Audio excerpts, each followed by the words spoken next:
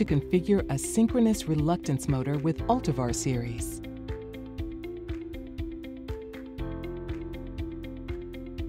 Hello, let's have a look today at how to commission a simple synchronous reluctance motor. From the stator point of view, this type of motor is similar to synchronous, but the rotor characteristics are completely different. The rotor is made of several metal leaves shaped like this, and its principle is using the reluctance properties to make the rotor turn. The path of reluctance is equivalent to resistance in electricity.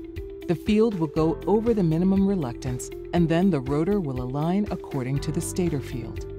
To summarize this kind of commissioning, we could say that for basic applications, the startup can be broken down into three steps. Enter motor characteristics, make an auto tune, and finally, improve the system behavior if necessary according to the application. The latter step will not be described in this video.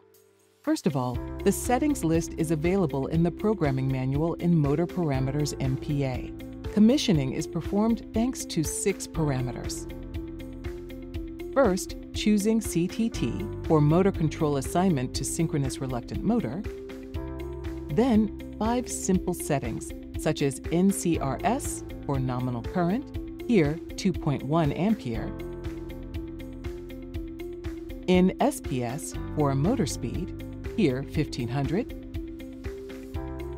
TQS for nominal torque, here 4.8 Newton meter, PPNS for number of poles, here two pair of poles, and finally AST for automatic angle setting time, here rotational current injection. You can see on the screen that when a setting is modified, a tool icon appears in front of all modified parameters.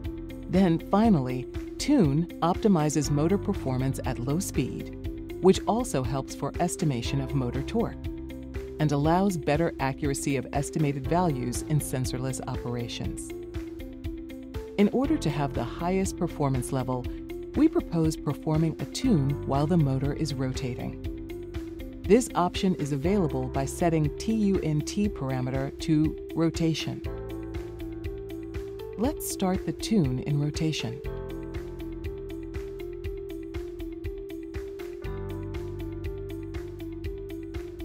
It is possible to start auto-tuning via the menu or the Apply button.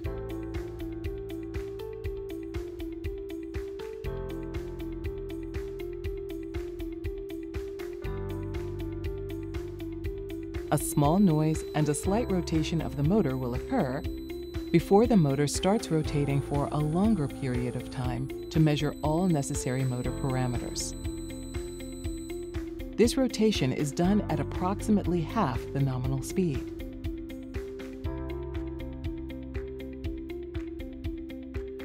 At the end of the tune, it is necessary to refresh to read the final data, result of auto-tune.